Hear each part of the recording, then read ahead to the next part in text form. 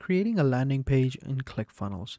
Now I'm over here onto their main website, clickfunnels.com, and we're going to go ahead and sign up. And you can sign up as well by clicking the link in the description below. So over here, as you can see, I've signed up. It's asking me to pick a theme. We just simply pick a theme and we can go ahead and customize it if we want to explore as well. I'm just simply going to go ahead and click on explore, pick a theme. So I'll just pick this one right here and click on continue. And right here, as you can see, hang tight. We are installing a theme and you will be redirected once it's completed. It's giving me three minutes so we'll just simply wait and then we'll move on. So here we go. So this is how the editor looks like. Over here you have your main website and on the left hand side you have a few options. So you have your top section and if you click on this edit block you can go ahead and edit it.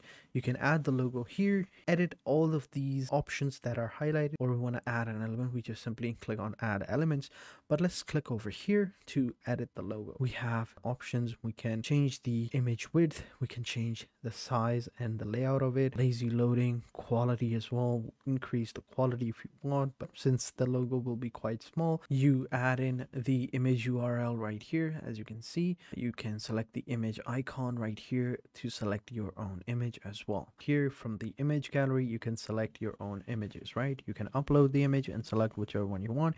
You can choose from pixabay or icon finder funnel images or unsplash. So we have a few logos right here. We go with this rocket ship right here and we'll just simply click on the plus icon to import the image and we can upload our own images as well. As i said before i uploaded this one right here. So we're just simply going to go ahead and select that head and maybe change up the layout of this. Go ahead and go with the default one. Change the size of the image. Uh maybe it was 105 then let's go ahead and select on save the universal block. Then we can scroll down and start editing out our main part of the website. Get rid of this video we just simply delete this section. Or if you want you can just simply link it by adding the video url right here. And then down below let's say you want to add a section. You just simply hover your mouse at the border of each section and it will give you this option add section in condition.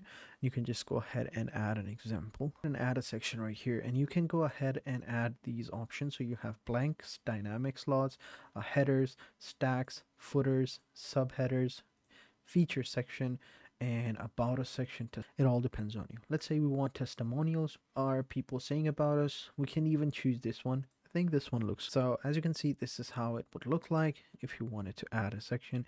If you wanted to delete one as you can see we just simply click on the trash can icon and it's deleted. Now these are elements are linked. So for example if I were to click over here each of these sections we can go ahead and add a link to them as well by clicking on this option or selecting this entire block as well. It all depends on you. Let's say you want to click on the settings you can go ahead and link them as well. So as you can see it's already linked through the paragraph and if we click on that link it'll open up the custom cs code and over here you can add in code for your same goes with the other sections as well. So as you can see we already have testimonial page right here editing it out.